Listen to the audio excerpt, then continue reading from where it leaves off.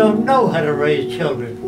When my kid came to me and he said, Daddy, a wheel came off my toy car, and he gave it to me. And I said, so it did, and I threw it in the garbage. And I went back to my magazine. And then I washed that lower lip going off. Then he started crying. I said, what's the matter?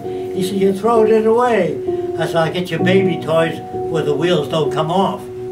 He said, well, maybe I can fix it. So I gave it to him again. And he's sitting on the couch and he gets it together. In just a minute or two, gets it together. Then you pick my, how did you do that? It's wonderful. He says, I'm not that little, but how did you do it? See the hole in the wheel, yes. See the piece of iron sticking up? I put the hole in and pushed it. I said, that's wonderful. But you say, here, let daddy do it, let mommy do it. You produce a blob. You know what that means? You solve all your kids' problems. You have to put things upon them.